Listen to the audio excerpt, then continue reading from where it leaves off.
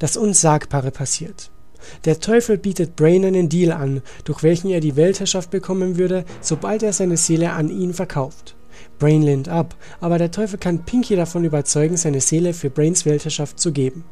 Als Brain das erfährt, fordert er den Teufel zu einem Wettstreit heraus, um Pinkys Seele zurückzugewinnen. Was soll man sagen? Das ist ein Halloween-Special, wie ich es mir von der Animaniacs-Serie gewünscht hätte. Alles ist so, wie ich es mir vorgestellt habe. Und noch viel mehr.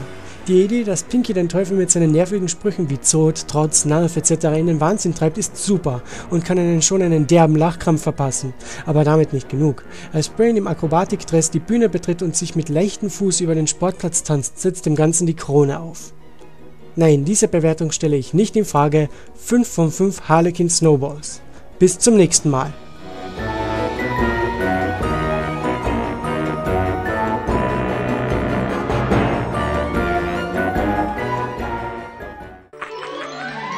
Kraftfahrzeugverkehrsamt. Der Plan kann unmöglich stimmen.